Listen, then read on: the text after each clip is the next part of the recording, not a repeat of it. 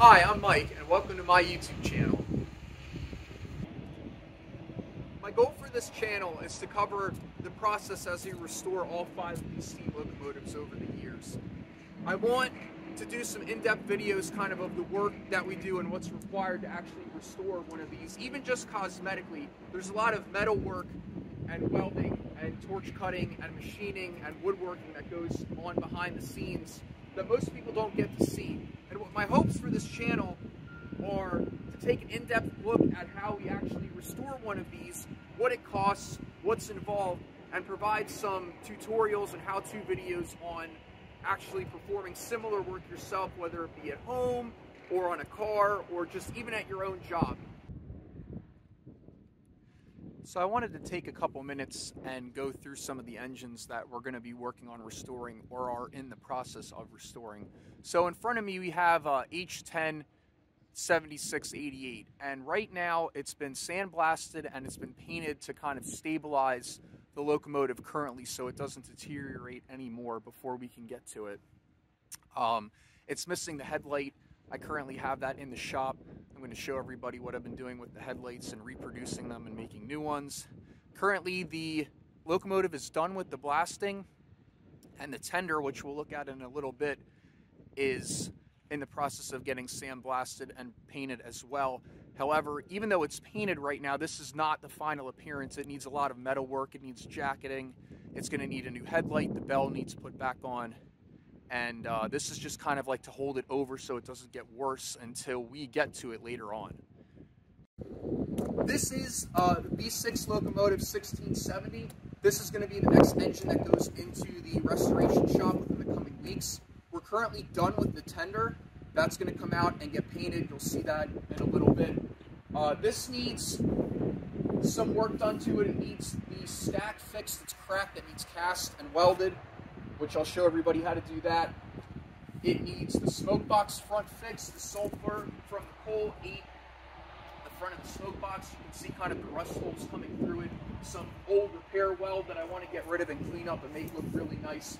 It needs an ash pan. It needs work to the roof and the cab, and it also, most importantly, needs the jacketing to the boiler done.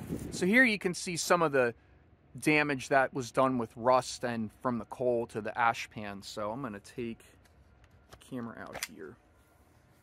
So if you look inside, this this was the pan that would catch all of the sparks and the ash from the coal when it was burned. And it actually goes around the wheel well here, and it goes inside here all the way to the middle. And then the engineer and firemen are able to dump the ashes over a pit. And these take a beating. So this is on my list of things we're going to have to fix. You can see there's a lot of bad rust and metal work that needs done. We're pretty much going to have to fabricate this whole thing over again, but thankfully we have prints and this won't be really that bad. But this is some major rust repair that we're going to have to do. Uh, you can also see there's some pinholes here on this cab sides. We took the paneling off of the cab. We're going to have to replace that. You can look through the top of the roof. You can kind of see some daylight peeking through. So that's one of my first things I'm going to have to do is fix that roof. You can also see on the back there's just some work. Any, any thin metal really is going to need repaired and addressed.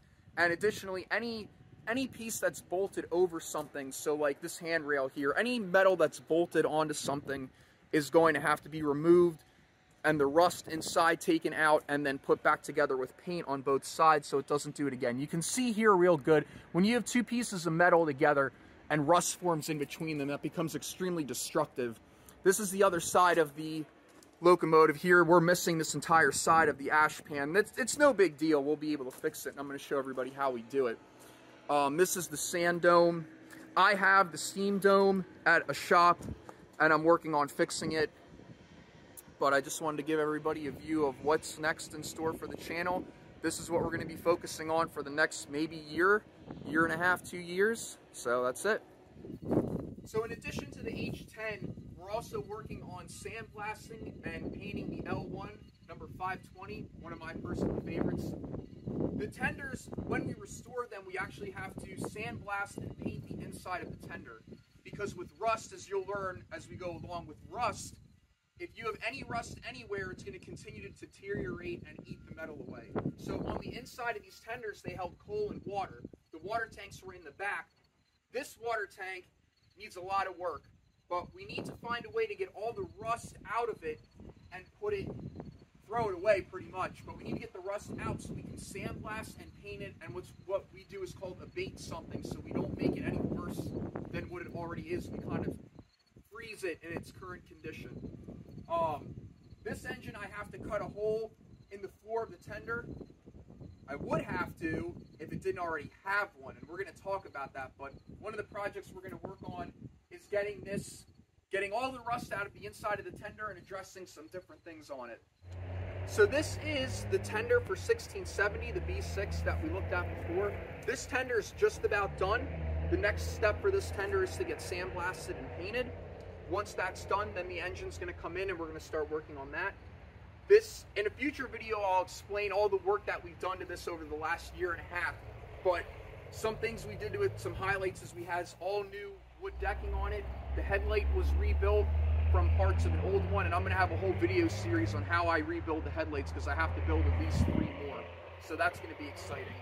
There was panels on the side that needed cut out, rivet work needed done, a lot of welding. We're going to talk about stick welding, MIG welding, TIG welding, welding cast. So it's going to be really exciting and I'm really looking forward to sharing that with everyone. So even though we're our primary focus right now for metal work here at the museum is on the steam locomotives, we are doing some side pieces as well. This is one of the pieces we're working on. It's a GS gon from the Pennsylvania Railroad If you look closely at the side, you might be able to make out that at one time it was sold secondhand to the Susquehanna Railroad, and you can still kind of see Susquehanna on the side, which I think is really cool. Uh, right now, currently, last year we cut the ends off the car. I'll, I'll show everybody that quick. So you can see on the front that we cut the ends of the car out. We actually had a company laser cut us new ends and we're going to be putting them in with our overhead crane. And I'm going to show everybody, we're going to walk everybody through and show everybody how we do that. We're going to have to weld them in place, and we're actually going to do some hot riveting for this one. So we'll show everybody the process of how to hot rivet stuff like they used to do back in the days before welding was invented. And it's going to be really cool. So this is another one on our radar. Yes, when this is done, this will get painted. It's going to get primed and painted. We're trying to find something that is going to last, you know, 10, 20 years, so it, will look nice and it won't look really bad. Uh, there are some holes on the side that were cut into it, so I actually cut the panels off. They had riveted cover panels on them, and I had cut them off. We're going to fill these and make the car look really good. It looks pretty rusty as it is, but it it's actually really good on the inside. At some point, this was modified for something else. We had cut those parts out of it and this is one of our projects that we're going to work on in the spring once the winter's over. So this is the front of the B6 tender. Before it goes inside, I wanted to show everybody some different things on it quick. We remanufactured these doors. We hot riveted them in place. We manufactured and fabricated these plates that stop the coal from coming through. This tender was unique in the fact that at some point, not the locomotive, but this tender actually had an oil bunker in here and it burned oil. So when we got this tender, it had to be converted back to look like it burned coal. So we had to add these stake pockets that I welded in place, a stick welded on 6010 root 7018 cover, but I had it at a bevel so you can't see the weld. And I'll get the camera and I'll show everybody what I'm talking about. All right, so we're up here. Uh, these are the stake pockets. So the whole point of this was when they built these tenders, the crews were never really happy with the coal capacity they had. So what the railroads did is they added these stake pockets and wooden sides so the tender would be able to hold more coal. When we got this tender, it was kind of half put together for the 1939 World's Fair, if I remember correctly. So when we got this, these stake pockets that hold the brackets that hold the wood on were all crooked and weren't welded correctly. They didn't even have the rivets in them. So what we did was we welded them, but we hid the welds to make it look like they're riveted in place, but they're actually welded and they're a little stronger. Part of the reason is I couldn't get to the back side of these to hot rivet them in place. And also when we riveted them in place, they might have moved a little bit for what we needed with these pockets. So we actually welded them. They look like they're riveted, but they're not. Behind me, behind all the scaffolding and plastic sheeting is the tender to the H10, which is currently in the process of being sandblasted and painted.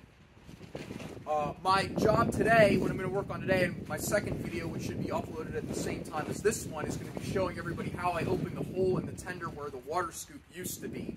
I'm going to do a little bit of uh, demonstration on what it was. We'll go inside, we'll look at an engine with one, and we'll compare it. But I want to show everybody where the progress of this tender is, and I'll close out the video, and we'll go from there. So this is the inside of the scaffolding. This is the tender to the H10. Uh, it's pretty far along. It's got coats of paint on it. It's got a little bit of sandblast material thrown on that needs cleaned off, but I believe the top still needs done yet, and the inside. So thank you everybody for joining me. Uh, the next video is going to be on how we're going to open the hole in the bottom of the tender to get all the rust out and the some of the bracing out from inside. So I'm to bring a, we're to go inside the tender. I'm to show everybody what it looks like. And I'm to show everybody how we're to open the hole and we're to clean out the tender. And that's to be our next video. Thank you for joining me.